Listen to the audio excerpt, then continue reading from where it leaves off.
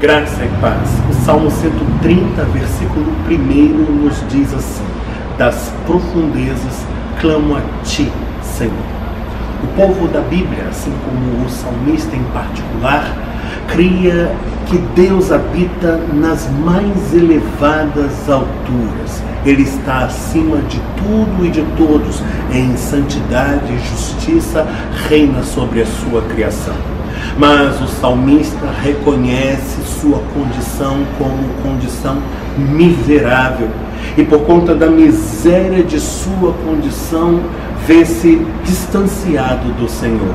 E das profundezas da miséria humana lança o seu brado na certeza de que será ouvido, pois ainda que venhamos a nos afastar de Deus, Ele não se afasta de nós e em amor está sempre ao nosso lado, pronto para nos acolher em seus braços e nos abençoar.